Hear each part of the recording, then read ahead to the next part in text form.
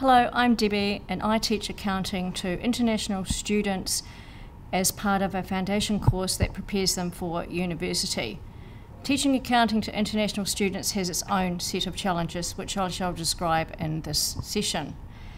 This year, a colleague of mine and I decided to combine our two classes and team teach as well as flip the class.